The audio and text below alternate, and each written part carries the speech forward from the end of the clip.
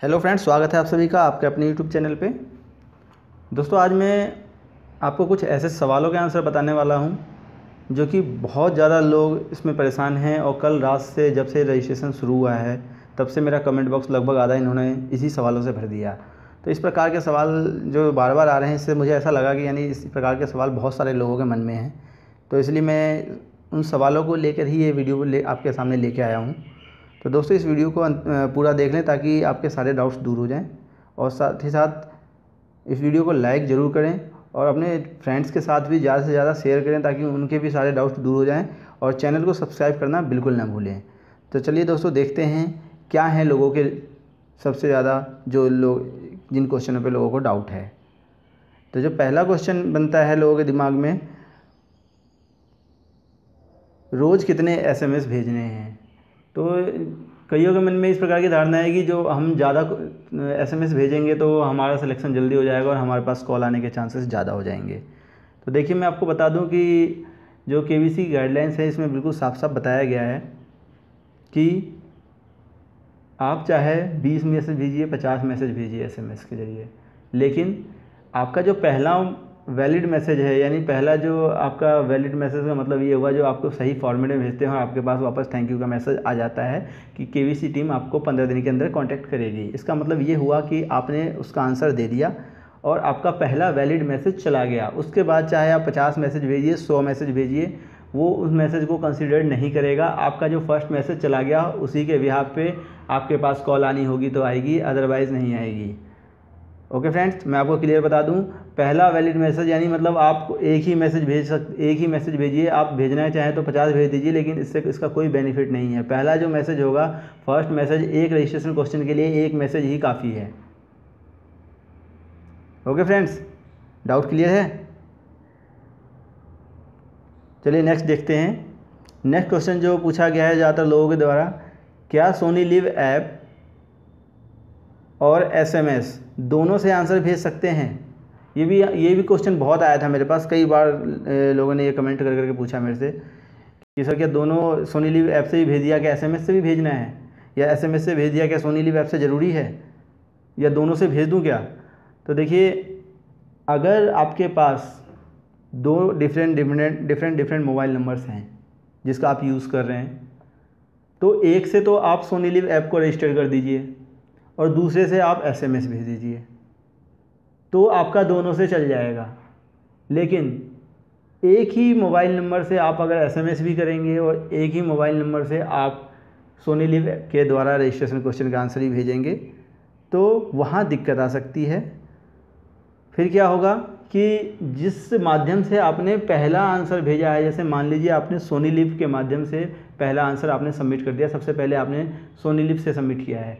और उसके बाद बाद में आप एसएमएस भेजते हैं तो एसएमएस वाले आंसर को वो कंसिडर नहीं करेगा, क्योंकि आपके एक नंबर से पहले ही एसएमएस उसके, उनके पास यानी आंसर सबमिट हो गया उनके पास और आपका मोबाइल नंबर उनके पास चला गया। तो आपके मोबाइल नंबर से उस दूसरे आंसर को जो आप एसएमएस के द्वारा भेज रहे हैं, उसको कंसिडर नहीं किया जाएगा। ओके फ्रेंड्स अगर आपके पास दो डिफरेंट डिफरेंट मोबाइल नंबर्स हैं तो आप ऐसा कर सकते हैं, एक से, एक मोबाइल नंबर से आप सोनीली वेब को रजिस्टर करके और उससे अपना आंसर सबमिट कीजिए और दूसरे नंबर से एसएमएस के द्वारा। एसएमएस कई लोगों का ये भी आया कि हाँ जी एसएमएस जो है हमारा जा नहीं रहा है। तो भाई, क्यों नहीं जा रहा है? एसएमएस आप सही फॉर्मेट में भेजो, सही फॉर्मेट में भेजोगे, सही नंबर में भेजो। जैसे कल का जो आंसर था, उसका राइट आंसर बी ऑप्शन था। तो आपको किस फॉर्मेट में भेजना है? फॉर्मेट देखिए आप कि आपको के बी सी टाइप करना है। सबसे पहले के बी सी बड़े अक्षरों में टाइप करना है, छोटा कोई भी स्मॉल ना हो। उसके बाद आपको बीच में स्पेस देना है। स्पेस समझते हैं ना आप? बीच में स्पेस देना है एक, यानी खाली जगह छोड़नी है, ठीक है? उसके बाद बी आपका सही आंसर था तो आपको बी टाइप करना है। उसके बाद फिर से खाली जगह छोड़नी है और उसके बाद आपको अपनी उम्र टाइप करनी है। उम्र कैसे? जैसे मान लीजिए आप, उम्र भी क्या है उसमें जो कंडीशन लिखी हुई है? दस मई को आपकी उम्र, दस मई 2021 को आपकी उम्र कितनी हो रही है? वो भी उम्र जो लिखनी है आपको पूरे ईयर्स में लिखनी है, कोई मंथ्स वगैरह यूज़ नहीं करना है उसमें। जैसे मान लीजिए आपकी जो डेट ऑफ़ बर्थ है, वो सितंबर में आती है, दस सितंबर आती है। ठीक है तो 10 सितंबर तो आपका अभी ये मई है, जून, जुलाई, अगस्त, सितंबर, चार महीने बाकी है आपको 26 साल होने में। आप 25 साल आठ महीने के हो चुके हैं मान लीजिए। तो आपको 25 ही भेजना है। आठ महीने को भूल जाइए आप, ठीक है? तो K B C space B space पच्चीस और फिर स्पेस एक और देना है, उसके बाद आप मेल है तो एम फीमेल है तो एफ़ ठीक है? इस प्रकार भेजना है आपको। तो ये आपका जो है राइट आंसर हो जाएगा। और यही बिल्कुल करेक्ट फॉर्मेट है। ठीक है? तो चलिए हम नेक्स्ट क्वेश्चन देखते हैं।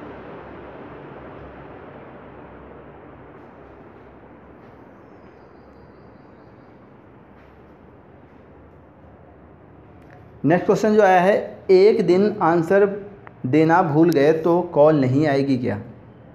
ये भी क्वेश्चन बहुत लोगों के आएँगे सर, अगर हमने, हम आज आंसर देना भूले, कल रात से ही आने, कल रात से ही आंसर आने शुरू हो गए क्वेश्चन आने, आज दिन में कि, सर, हमने आज नहीं दिया। तो देखिए, अभी आपके पास टाइम है, अगर आपने उस क्वेश्चन का आंसर नहीं दिया तो आप आज रात आठ बज के उनसठ मिनट तक उस क्वेश्चन का आंसर दे सकते हैं और रजिस्ट्रेशन में भागीदार बन सकते हैं। ठीक है? वायदा भी आप फिर भी भूल जाते हैं और कल, आज वाले क्वेश्चन नौ बजे के बाद आपको याद आता है कि रजिस्ट्रेशन शुरू हो चुका है। तो आप उसके आगे भी कंटिन्यू कर सकते हैं। कोई प्रॉब्लम नहीं है। मान लीजिए आप दो दिन भी भूल गए तो आप तीसरे दिन से रजिस्ट्रेशन क्वेश्चन के आंसर दीजिए एसएमएस और सोनी लीव ऐप के द्वारा और आपका रजिस्ट्रेशन वैलिड माना जाएगा और आपके पास भी कॉल आने के उतने ही चांसेस होंगे। ठीक है? इसका क्या प्रोसेस होता है? जैसे आज आपने आंसर भेजे ना तो इन नंबरों का क्या होगा? एक फिक्स डेट होगी, जैसे सात दिन बाद रैंडम रैंडमाइजर सॉफ्टवेयर के द्वारा इन नंबरों को सिलेक्ट किया जाएगा, जो कि जिनका, जिन्होंने दस तारीख का सवाल भेजा है। दस दस तारीख के सवाल का जवाब भेजा है। अब आपने ग्यारह का भेजा है तो आपका अगले दिन वाले में आ जाएगा। आप उसमें भेज दीजिए। ठीक है? कोई प्रॉब्लम नहीं है, अगर एक दिन भूल जाते हैं तो या मान लीजिए एक एक दो सवाल बीच में गलत भी हो गए तो ऐसा मत समझिए कि आप बाहर हो गए हैं। नेक्स्ट डे आप उस अगले क्वेश्चन का सही आंसर दीजिए। ठीक है? और आंसर एवरी डे देना है आपको, ताकि आपके पास कॉल आने के सबसे ज़्यादा चांसेस हों। नेक्स्ट क्वेश्चन है सोनी लिव डाउनलोड कर लिया, लेकिन ब्लैक स्क्रीन आ रही है। कल रात से बहुत ज़्यादा लोगों के ये क्वेश्चन आए मेरे पास कि, सर, मेरा तो सोनी लिव ऐप चल ही नहीं रहा है। ऐप हो गया है, लेकिन जैसे ही रजिस्टर नाउ करते हैं, वो ब्लैक स्क्रीन आ जाती है, उसके आगे कुछ नहीं हो रहा है। तो देखिए, इसके दो कारण हो सकते हैं। एक तो आपका नेट नेट कनेक्शन ख़राब है तो नेट कनेक्शन बेकार है आपका। और दूसरा क्या है कि आपका फ़ोन जो है उस ऐप को सपोर्ट नहीं कर रहा है। तो आप दूसरे फ़ोन में ट्राई कीजिए, या आपका अपना कनेक्शन चेक कीजिए। ठीक है दोस्तों? तो आज की वीडियो मुझे लगता है यहीं समाप्त होती है, और आपके सारे डाउट दूर हो गए होंगे। फिर भी अगर किसी प्रकार का कोई डाउट है तो आप हमसे कमेंट बॉक्स में पूछ सकते हैं। आपके सभी सवालों का सही सही जवाब दिया जाएगा। ठीक है दोस्तों? और मिलते हैं आज रात में फिर से नौ बजे के के नए रजिस्ट्रेशन क्वेश्चन के आंसर के साथ। तो चलिए दोस्तों, मिलते हैं नेक्स्ट वीडियो में।